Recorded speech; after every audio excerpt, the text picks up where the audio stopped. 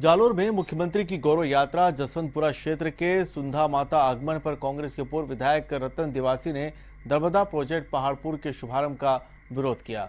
पूर्व विधायक ने प्रेस वार्ता में बताया कि नर्मदा की लाइनें जगह जगह डैमेज पड़ी हैं और मुख्यमंत्री शुक्रवार को उसका फीता काटकर शुभारंभ कर रही हैं।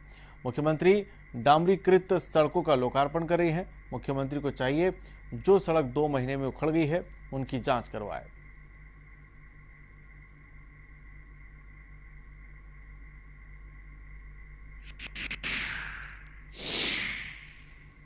स्थानीय विधायक और सबको तो सब कुछ पता है तो फिर आप मुख्यमंत्री से किस बात का आप लोकार्पण करा रहे हो? आप लोगों की भावनाओं के साथ खेल रहे हो, आप लोगों की भावनाओं के साथ खिलवाड़ कर रहे हो।